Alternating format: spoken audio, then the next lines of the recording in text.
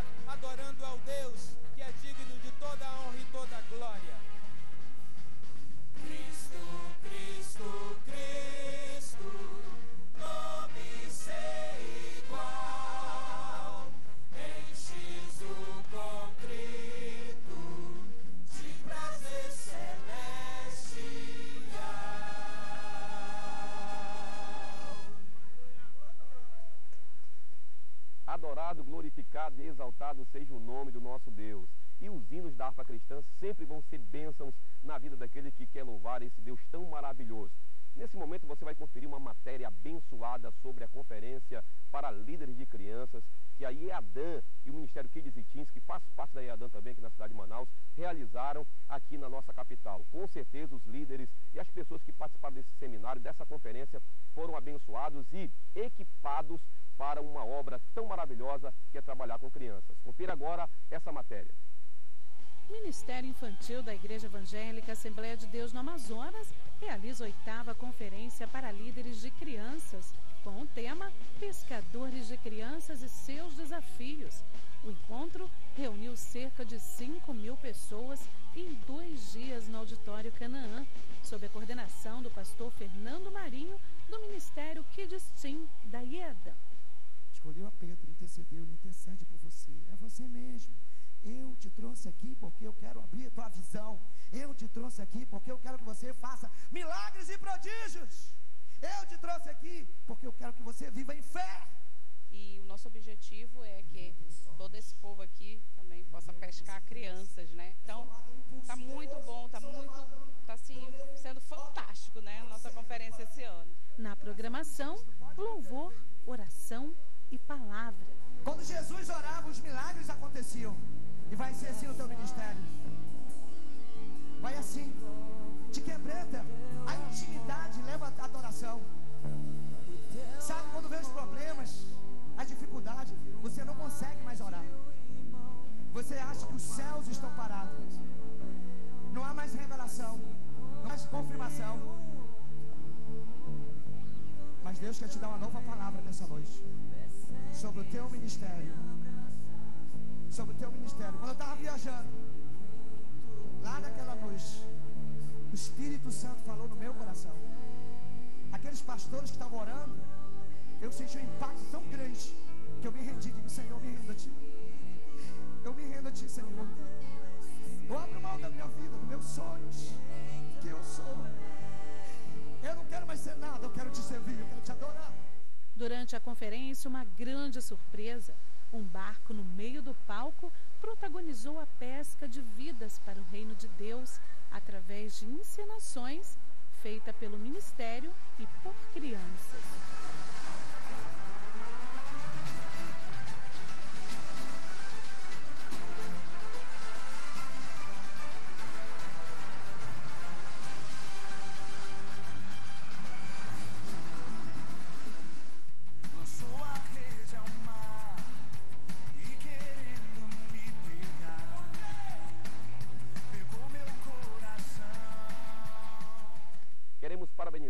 Pastor Fernando, mais conhecido como tio Fernando, por essa linda conferência para líderes de criança, os pais que participaram, que Deus possa abençoar e que você possa também colocar em prática tudo que você aprendeu nesse ministério tão abençoado. E neste momento você vai conferir uma matéria abençoada sobre o SOS Alagados, da IEADAN aqui na cidade de Manaus, que Deus colocou no coração do pastor Jonatas para ajudar, cooperar com os irmãos ribeirinhos que estão sofrendo com a, essa alagação que está acontecendo na cidade de Manaus, no estado do Amazonas, essa enchente que está fazendo muitos nossos irmãos sofrerem. Confira agora e ore também por esses irmãos que estão precisando em nome do Senhor Jesus. Nesse momento nós estamos no Puraquequara, ao lado do hangar do Asas do Socorro, onde a comitiva do SOS Alagados está embarcando nesse momento com destino ao município do Careiro da Várzea, onde lá iremos visitar várias comunidades para distribuição de cerca de 6 toneladas de alimentos não perecíveis para os ribeirinhos que estão sofrendo com as cheias dos rios deste ano. A viagem começa com oração. O primeiro destino será a sede do município do Careiro da Várzea. Esta é a embarcação que nos levará até lá. A viagem vai durar três horas. Enquanto isso, vamos contemplar as belezas naturais da nossa região. Careiro da Várzea é a nossa primeira parada. Aqui somos recepcionados pelo coordenador da IADAN no município e por uma equipe de pastores. Os irmãos da Assembleia de Deus, de outros ministérios, a Bíblia diz: lança teu pão sobre as águas, depois de muitos dias tu acharás. Também a Bíblia diz: se você der um copo de água para um profeta, você recebe galardão de profeta. Então, obrigado para aqueles que abriram o coração e nos abençoaram, e dizendo para vocês: aqueles que puderam, que têm condições, contribua, porque com certeza Deus tem um galardão preparado para cada um, aqueles que operam, né, ajudando as pessoas do interior do estado do Amazonas que vivem uma situação difícil. 200 cestas básicas com 25 quilos de alimentos não perecíveis foram preparadas para a primeira entrega. A doação vai beneficiar 18 comunidades. o trabalho que a Igreja Evangélica Assembleia de Deus está desempenhando é um trabalho assim muito humanitário, né? Porque leva a, pelo menos o alimento, né? Às pessoas mais carentes da nossa, do nosso careiro da várzea. Você vê que a dificuldade está muito grande, né? Essa alagação agora já está baixando as águas, mas aí que chega a dificuldade, né? A dificuldade começa quando começa a baixar as águas, porque as pessoas que estavam com a sua vegetação, todas foram de águas abaixo. Vão começar novamente tudo de novo da estaca zero, né? É uma benção porque isso quer dizer que 10 famílias serão beneficiadas, né? E só temos que agradecer a Deus. Como diz a palavra, em tudo dai graça, né? Porque esta é a vontade de Deus. Na oportunidade de estar com o meu pastor e também poder receber alguma coisa dentro daquilo que tem a possibilidade para ajudar os mais carentes da nossa localidade. Olha, esse rancho ele chegou numa hora boa mesmo, né? na hora que a gente mais precisa, porque isso aqui, desde 2009, como todos são cientes, né? O rio sobe. Essa, a, a, esse ano foi maior do que o do ano passado, superou a enchente do ano passado. Então muitas pessoas já estão levantando as casas, desmanchando ou suspendendo através de macacos, tá entendendo? E é o meio de escapar da enchente, porque parece que a situação vai ser essa sempre. Então a gente agradece a Deus, agradece a todos vocês, o pastor Jonas, né? com certeza ajuda do nosso deputado Silas, nosso deputado federal, e por esta bênção. Nossa missão termina de noite. O cansaço se mistura ao sentimento de alegria pelo privilégio de poder servir. Mesmo com tão pouco, gratidão e alegria foi a resposta dos nossos irmãos ribeirinhos diante desse ato de amor e solidariedade. Obrigado, Pastor Jonas! Obrigado,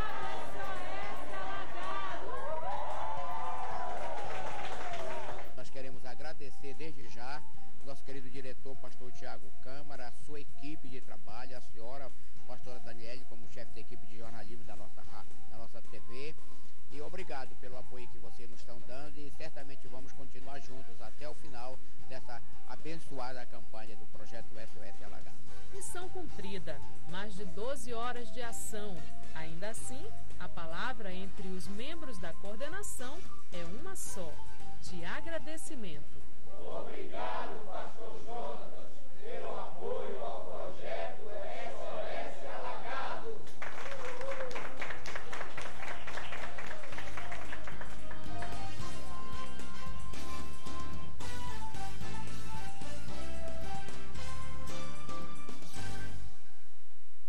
Glória a Deus por essa obra social tão linda que a nossa Assembleia de Deus aqui em Manaus está realizando em prol dos ribeirinhos, sofrendo aí com essa chuva, essa enchente que bateu mais um recorde. Deus abençoe ao nosso pastor Jonatas Câmara, Deus abençoe ao pastor Botelho, o pastor Aurino, que fazem parte dessa equipe, que Deus possa recompensar cada um de vocês. E você que está nos assistindo, você que tem um coração voluntário, amoroso, quer cooperar, você pode cooperar vindo aqui no Auditório Canaã, trazer sua cesta básica, seu alimento não perecível e cooperar com essa linda obra em nome do Senhor Jesus.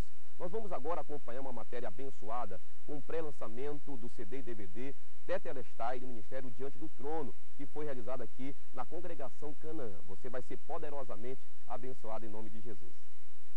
O CD e DVD Tetelestai é o 17º do Ministério Diante do Trono, que para apresentar o novo trabalho realizou uma turnê por oito cidades brasileiras, terminando aqui com chave de ouro na cidade de Manaus, na congregação Canaã da Igreja Evangélica Assembleia de Deus Amazonas.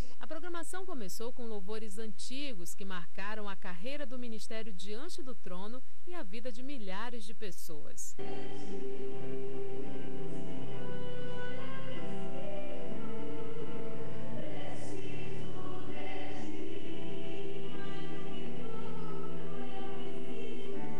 Em seguida, os pastores Ana Paula Valadão e Gustavo Bessa testemunharam sobre a experiência da primeira gravação internacional do Ministério Diante do Trono e fizeram comentários sobre cada música do novo CD. O povo de Deus que compareceu, um grande público de várias denominações, participou com muita alegria e interagiu o tempo todo durante a exibição do DVD. Um momento muito especial da gravação em Israel foi durante a música Ó Jerusalém, que teve a participação especial da pastora Ana Lúcia Câmara. Sem merecer, mas a misericórdia do Senhor é tão grande, o amor dele para conosco, e me deu essa, essa oportunidade de poder fazer parte de um momento tão especial, um momento profético né, em Israel, no país, e muito feliz de podermos juntos compartilharmos aqui essa, essa bênção e essa grande vitória. A líder do Diante do Trono declarou o quanto a participação da pastora Ana foi bênção para esse trabalho. A sua presença lá em Jerusalém comigo, a nossa amizade,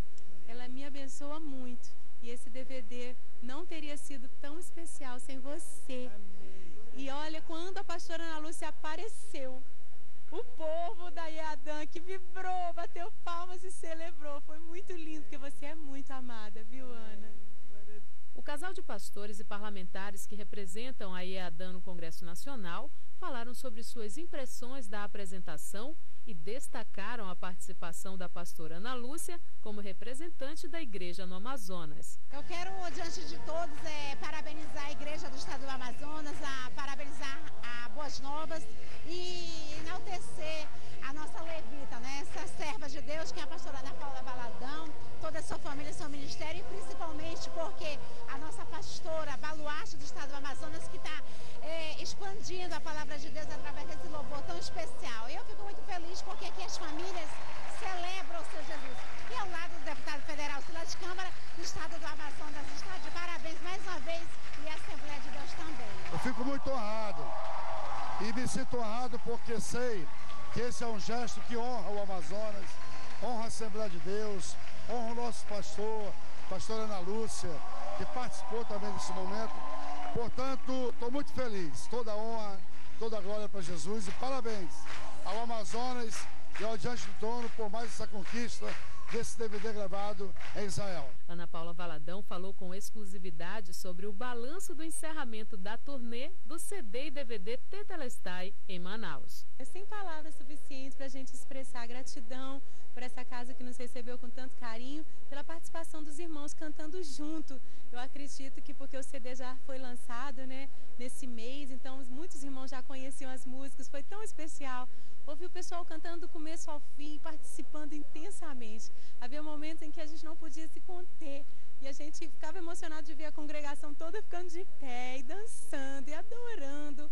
Realmente, nós estamos fechando com chave de ouro essa turnê do TVD Tetelestai aqui em Manaus. Gustavo Bessa, pastor emérito da IEADAN, agradeceu todo o carinho com que sempre são recebidos no Amazonas. Olha, o amor aqui da IEADAN nos constrange tanto. Nosso coração fica tão quebrantado e tão grato a Deus por essa igreja, pelo pastor Jonatas Câmara, pastor Ana Lúcia Câmara e cada um deles aqui. E nós nos sentimos aqui como família. E somos recebidos aqui como família. E o nosso coração só tem que agradecer ao Senhor e entregar a Ele a honra, a glória, o louvor que é devido a Ele. E por Ele ter levantado servos aqui para levantarem a bandeira do nome de Jesus aqui em todo o Amazonas, em todo o Norte. E nós nos sentimos muito honrados, muito honrados de ser parte dessa família. O diretor da Boas Novas, pastor Tiago Câmara, destacou o sucesso do evento que foi divulgado pela TV e Rádio Boas Novas. Tudo isso nós tributamos a ele, né, um evento de sucesso. Quero aqui parabenizar a pastora Ana Paula Valadão, pastor Gustavo Bessa, toda a sua família, o Ministério Diante do Trono. Parabéns, estou aqui com a minha esposa, viemos profetizar aqui, viemos aqui também celebrar o nome do Senhor Jesus né? e ficamos encantados, impactados com o que Deus fez essa noite aqui neste lugar. O anfitrião da festa, pastor Jonatas Câmara, destacou a qualidade do novo trabalho e ministrou uma palavra profética sobre o Diante do Trono. E que vocês não cessem essa voz profética de pregar às nações através de um meio que não tem barreiras, que é a música. E que esta unção seja renovada na vida de vocês. E que vocês distribuam Tetelestai, porque a ciência, os teólogos antigos e atuais, eles estão clamando e clamando e dizendo quem é que vai trazer paz às nações. Eles não sabem, mas nós sabemos porque lemos a Bíblia, a palavra de Deus. Que Tetelestai seja traduzido em inglês, francês, espanhol, hebraico, em grego, em todos os idiomas, para que ele possa responder ao clamor das nações, que é Jesus ressuscitou, o Rei dos Reis. Glória a Deus por essa linda festa aqui na cidade de Manaus, com o Ministério Diante do Trono, que foi um pré-lançamento abençoado do CD e DVD Tetelestai, que significa está consumado. A cidade de Manaus foi privilegiada com esse pré-lançamento que com certeza vai marcar a vida daqueles que participaram dessa linda noite de manifestação de glória e poder de Deus. E nesse momento nós vamos é, ouvir uma palavra poderosa da parte de Deus com o pastor Elionai Reis. A Bíblia diz que ele busca e ele acha. E quando ele acha, a Bíblia diz que ele bota nos ombros e vem com alegria, ele vem sorrindo, ele vem, ah, ele vem cantando, ele vem assobiando, ele vem, ih, mas ele vem pulando, ele vem saltando e tal. E algo interessantíssimo, diz que quando chega em casa, ele convoca os amigos. Eu acho isso lindo. Os vizinhos e diz a eles: Alegrai-vos comigo, porque já achei a minha ovelha perdida. Achei interessantíssimo isso. Compartilhar para um homem significa a sua capacidade de recuperação diante dos desafios que ele enfrenta. Quando o homem consegue uma vitória, ele quer dizer para o outro homem: Ei, rapaz, eu sou macho, eu sou valente, eu sou forte, eu sou guerreiro. Eu não sou, e ainda tem uns que dizem isso, né? Não sou igual a A, B ou C, não. Quando eu tenho um objetivo, eu vou até o final. E é por isso que eu muitas vezes tenho esse peito tufado, inchado, porque para ele a questão é conquistar, para ele a questão é vencer, para ele a questão é chegar lá. Alguém já disse que é tipo no casamento. Quando homem e mulher não entendem as diferenças que existem entre um e outro, eles começam a divergir. É como disse alguém, como quando eles escolhem subir uma montanha e chegar lá no topo. Meu bem, vamos fazer isto, vai ser bom, é um exercício e é uma conquista. E o homem pega na mão da mulher e sai os dois juntos. Só que para ele tudo que importa é chegar lá em cima. Ele é homem, é macho, quer provar que tem fôlego, que ainda tem velocidade, que ainda consegue escalar muitos metros. Ela quer a mesma coisa, só que ela é mulher. E ela começa na subida da montanha, ela para, quer olhar uma flor que está bonita, aquela árvore que está muito verde. Ele diz, mulher, o meu negócio é chegar lá em cima. de marido, eu quero a mesma coisa, mas eu gosto de olhar uma florzinha aqui, uma árvore aqui, um passarinho acolá, o um negócio. Se o caboclo não entende isso, se a mulher não entende isso, dá problema. A Bíblia diz que quando ele pega, quem ele vai chamar? Os amigos. Com quem ele vai conversar? Com outros homens. Com quem ele quer jogar futebol? Com outros homens. Com quem ele quer ir para a pescaria? Com outros homens. É típico do homem querer mostrar a outro homem que ele tem potencial.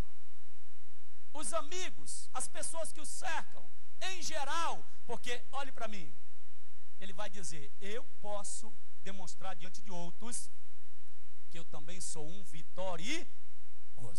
Mas só pense isso. Vamos para frente. A Bíblia diz Jesus falando para eles: E qual de vocês, olha só, Jesus vai dizer de novo, dizer de novo, olha só. Qual mulher? Primeiro ele falou para um homem, guarde isso. Depois ele falou para uma mulher. Qual mulher tendo dez dracmas? E quando eu li dez dracmas, eu parei para pensar e disse: Meu Deus, espera aí. É interessante, porque se para um homem são exatamente, para ele, os bens simbolizam realização, para a mulher, finanças fala alto. E aqui vem o problema do casamento. É quando o homem não compreende isso. Aí ele começa a dizer que a mulher quer deixar ele liso. Não é isso não, rapaz. Calma. É que para ela a coisa é diferente. É o do lugar mais duro de mexer no homem é no bolso.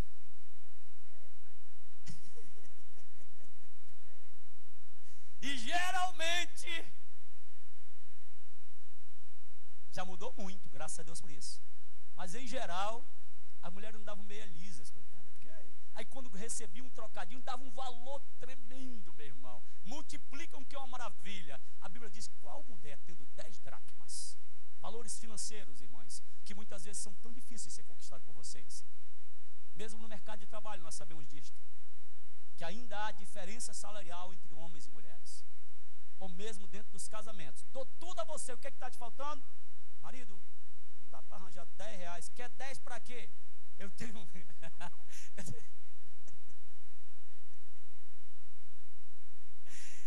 Bem, eu vou contar aqui. Eu tinha um conhecido, não vou dizer que parentesco que ele tinha. Que quando o filho dizia a ele assim: Pai, me dê um real. Ele olhava para a cara do filho e dizia: Para que um real? Se 50 centavos é muito, pega 10 centavos e me traz 5 centavos de troco. Meu Deus do céu. Tem marido que é assim. Aí Jesus olha e diz: Qual mulher, tendo 10 aumentou. Esse mês ele me deu uma dracma. No mês seguinte ele voltou a repetir o gesto, me deu mais um. Levaram dez meses, vamos pensar assim um pouquinho, ele me deu, eu tenho dez dracmas, completo. Já dá para me comprar o que eu quero gastar. E aí ela vai procurar perder uma. Eu disse, quem ou qual mulher tendo dez dracmas, perdendo uma? E eu achei interessante, irmãos, preste atenção.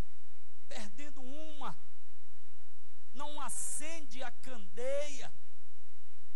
Olhe para mim, não traz a, a claras, não revela o problema. E é interessante isso, porque em geral, marido diz que mulher às vezes fala muito, mas não é não, que, é que ela gosta de compartilhar, ela vai logo dizer, olha, tá lembrado daquele dinheiro que você me deu? Pois é, infelizmente, eram dez, eu perdi um. Cara já olha de banda, de lá vai, tá aplicando o golpe, é não, acabou, porque elas são assim, gostam disso querem compartilhar, querem trazer as claras, querem revelar. E muitas vezes acabou que foi reclamando porque ela está revelando para a vizinha, está revelando para a mãe, papai. Mas e para ti? Tu tem tido paciência e graça para ouvir? A Bíblia diz que ela acende, vai procurar, torna clara a coisa. Eu parei porque olhando, meu Deus, que coisa interessante. Porque mulher realmente é assim. Ela tem mais facilidade muitas vezes de compartilhar do que o homem. O homem, quando está com um problema, sabe o que ele faz? Ele fica envergonhado, acabou. Ele primeiro procura resolver, mano. Ele fica, recolhe para ele, quer resolver, porque ele diz: Eu não vou passar vergonha. A mulher não, ela diz: Meu Deus do céu, ai, tá, tá faltando isso ou tá faltando aquilo. E a Bíblia diz, mas é uma coisa interessante, diz que ela vai fazer isso dentro da sua própria casa. Oh, coisa linda. Oh, coisa maravilhosa. É quando você, mulher, começa exatamente no melhor caminho, compartilhar dentro da sua própria casa a sua necessidade. Ali é o lugar do compartilhamento buscar dentro da sua própria casa a solução para o problema. Que coisa, que mensagem para mim monumental, fabulosa, porque infelizmente muito tem sido ensinado que a solução de um problema está fora de casa. E eu creio perfeitamente que o Deus que instituiu família, que o Deus que instituiu um lar, é capaz de dentro da tua própria casa apontar a solução e revelar, glória a Deus. Qual é a saída para o problema? Qual é a saída para a dificuldade? Aí a Bíblia diz que ela vai, e, e, e tem uma característica maravilhosa aqui: varre a casa, busca com diligência, ou seja, com cuidado, com dedicação. É mais problema. Já, já entrou na loja, marido, para comprar roupa com a sua esposa? Rapaz. Eu tenho exercitado isso. Elda sabe que sempre eu entro com ela. Agora é assim, né? Ela, enquanto ela passa no arara, eu já passei em 10. Pá, pá, pá, olhando assim. Ela vira para um lado, vira para o outro, estica o pano e tal. Tem marido que se aborrece. Mas escuta, irmão.